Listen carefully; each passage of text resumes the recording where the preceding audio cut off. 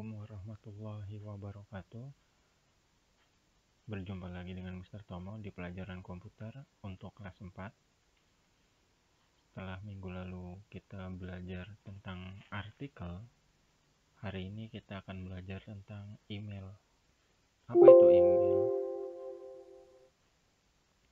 Email atau electronic mail Pasti sebagian besar dari kalian sudah tahu apa itu email tapi untuk lebih jelasnya kita akan lanjutkan.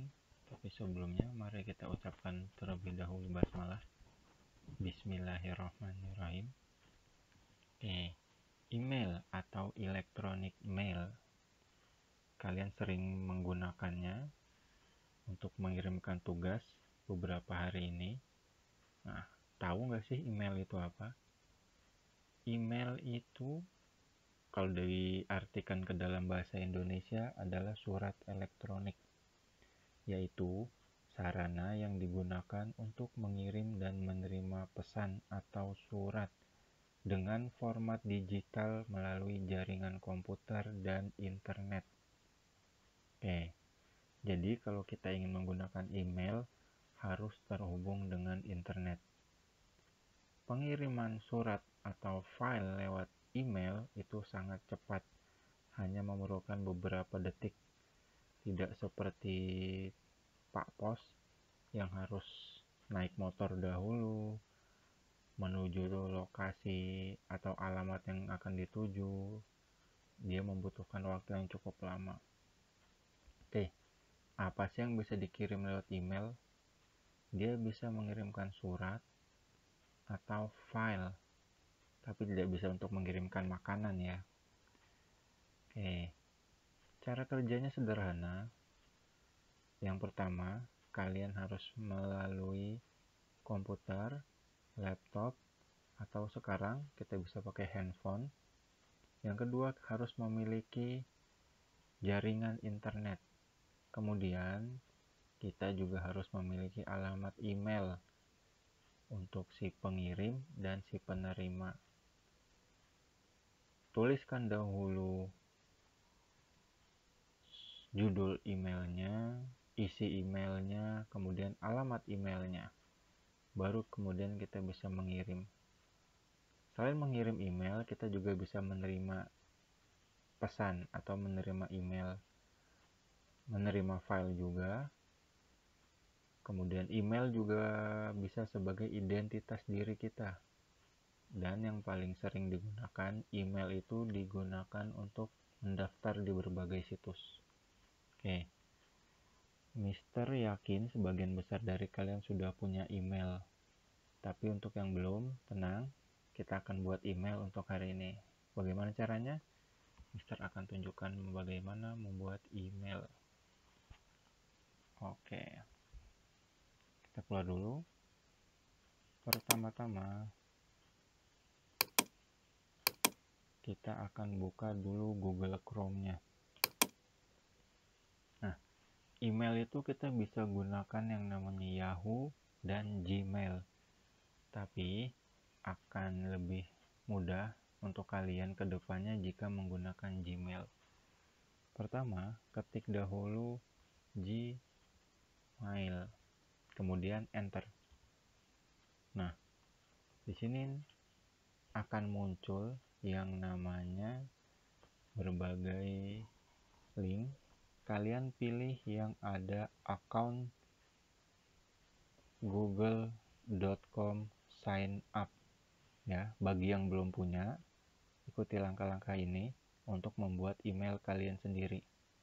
Create your google account. Klik. Kemudian diisi namanya nama depannya misalkan Mister akan buat email contoh. Nama depannya adalah email. Ini hanya contoh ya. Kalian gunakan nama depan dan nama belakang kalian masing-masing. Kemudian nama pengguna. Nama pengguna itu adalah nama email kalian. Kalian bisa gunakan alamat email saya saat ini sebagai gantinya. Tinggal diklik.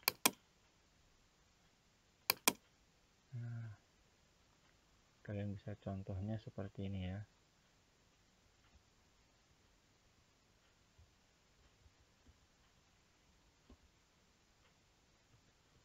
Nah jadi kalian ketikkan alamat emailnya yang kalian suka. Kemudian masukkan passwordnya.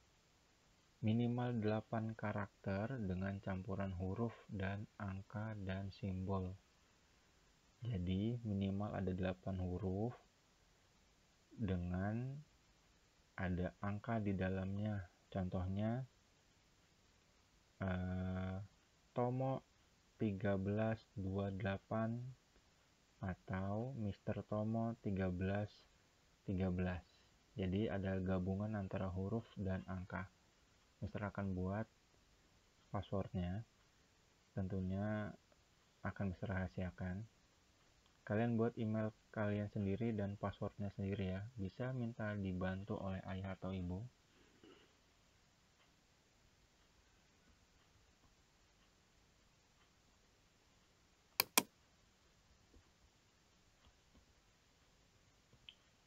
Oke, kalau sudah passwordnya, klik berikutnya.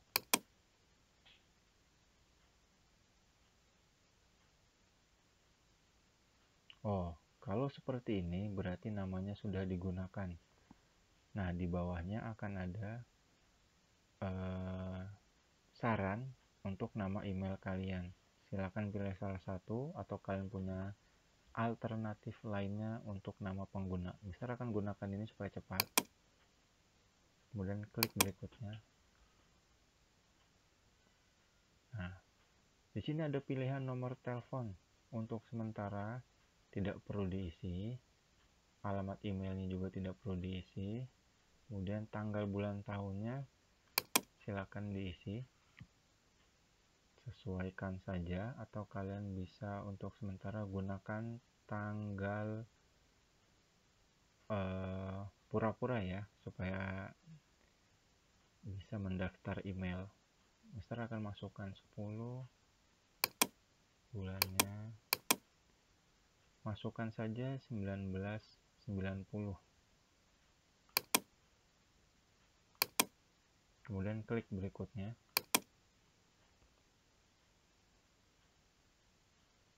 Nah, di sini bisa dibaca atau kalian bisa langsung saja klik saya setuju.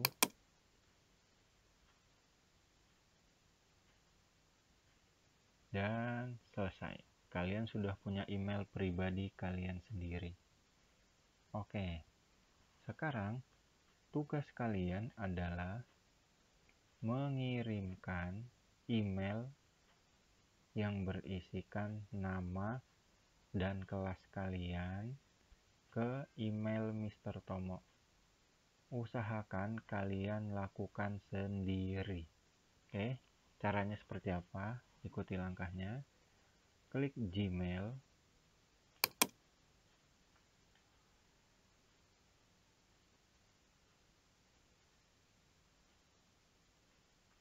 oh sebentar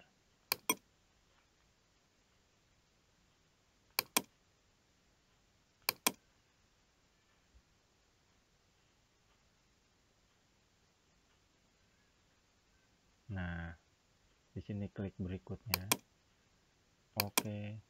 Dan sekarang kita akan mulai mengirim email.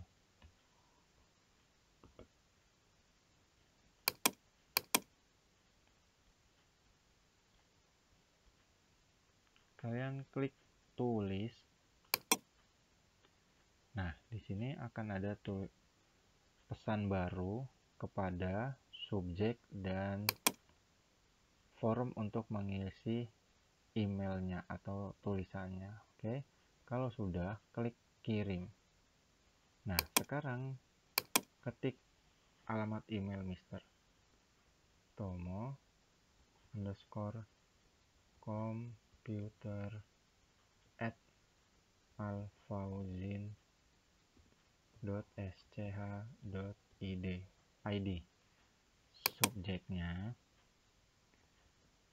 tugas TIK kelas 4 di bagian isi emailnya kalian ketik pertama biasakan ucapkan salam Assalamualaikum, selamat pagi, selamat siang, atau selamat malam. Kita akan gunakan Assalamualaikum saja.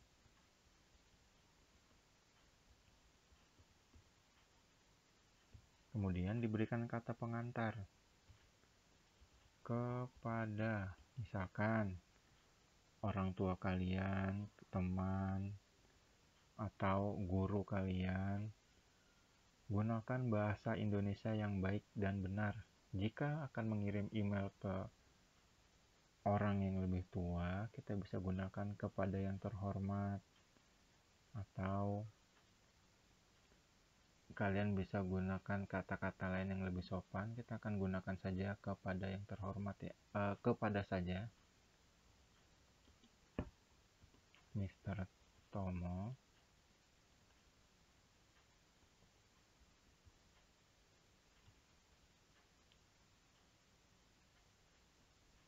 berikut oh saya dari kelas 4 Firdaus kelas 4 gini saja kelas 4 ingin mengirimkan tugas TIK saya atas nama Nah, di sini isikan nama dan kelas masing-masing. Kalau sudah, kita biasakan terima kasih. Oke, diisi ya, titik-titik isi diisi dengan nama dan kelas masing-masing. Kalau sudah klik kirim, tunggu. Nah, kalau sudah ada pesan terkirim berarti sudah terkirim. Selesai tugas kalian. Kita akan jumpa lagi di video berikutnya, insya Allah. Assalamualaikum warahmatullahi wabarakatuh.